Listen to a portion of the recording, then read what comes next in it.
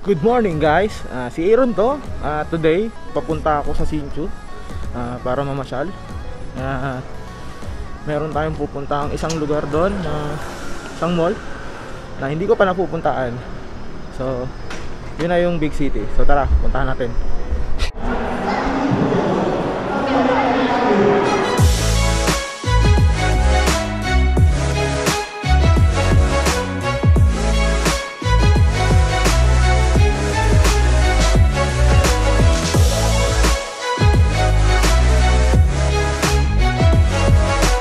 So guys, nandito ako ngayon sa big city sa almost 4 years ko dito sa Taiwan, ngayon lang ako nakarating dito sa big city. Ito kasi yung madalas pasyalan ng mga Pilipino na malapit lang dito sa Hsinchu. So, papasyal ngayon tayo dito sa big city. Itutur ko kayo. Bagamat, ito lang din yung unang beses na mapupunta ako dito. Doon sa baba nga pala may event, eh, hindi ko alam kung tungkol saan kasi hindi ko nga naiintindihan. So tara, pumasyala tayo. Window shopping is real.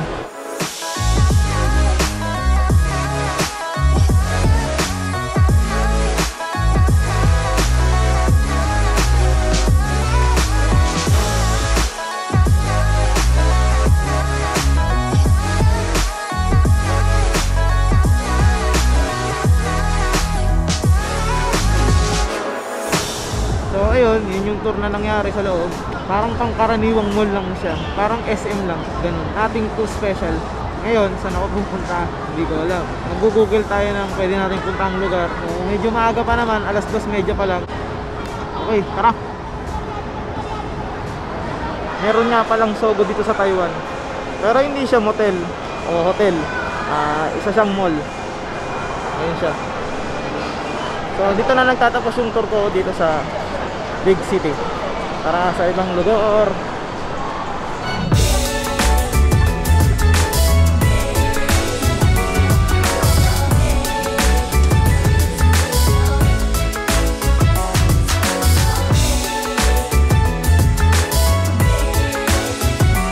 So guys, katatapos ko lang kumain and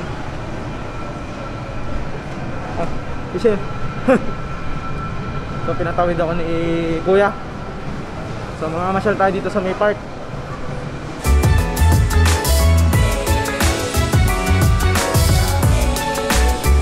So guys, pasyal-pasyal lang tayo So pupunta ako ngayon sa Eastgate Isang struktura dito sa Sinchu Nasa gitna siya ng highway Tara silipin natin Parang ginagawa pa lang siya no?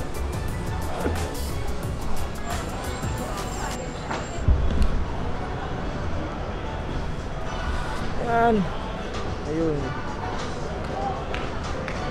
Ayun yung East Gate. Tara tingnan natin. So, nandito ako guys sa Eastern Gate. Ayan. Hindi ko lang ba't ito tinawag na Eastern Gate pero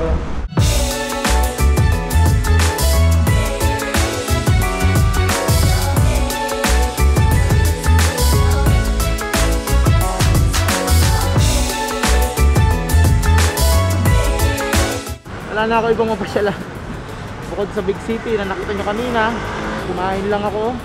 Pero nagpaplano na ako magpunta ng Taipei guys. Uh, pupunta tayo doon, papasyal tayo doon. Ipapakita ko sa inyo kung gaano kaganda yung Taipei. Bablog natin yan. Sana guys sa mga susunod kong vlog makapunta ako sa mga mas interesting na lugar no? Ah, gusto ko sana ano eh uh, umakit ng mga bundok ganun. Sa ngayon hindi pa ako makapunta no? Gawa ng medyo busy tayo kasi trabaho tapos sumasideline tayo so sa ngayon talagang dito lang talaga ako nakakapunta sa medyo malalapit ng tulad nitong Hsinchu bukod dito malalayo na no? Tulad ng Taipei ganyan. Uh, Taichung. Gusto ko din sana magpunta doon sa eskwela nila Downs eh. Yung Yingpei University. Pero medyo malayo siya no? Uh, shout out nga pala kay Mating Min no? Nagpapa shout out saka sa Kulyanin Boys. Shout out sa mga nakakapanood ng vlog ko shoutout sa inyo. Alam nyo na kung sino kayo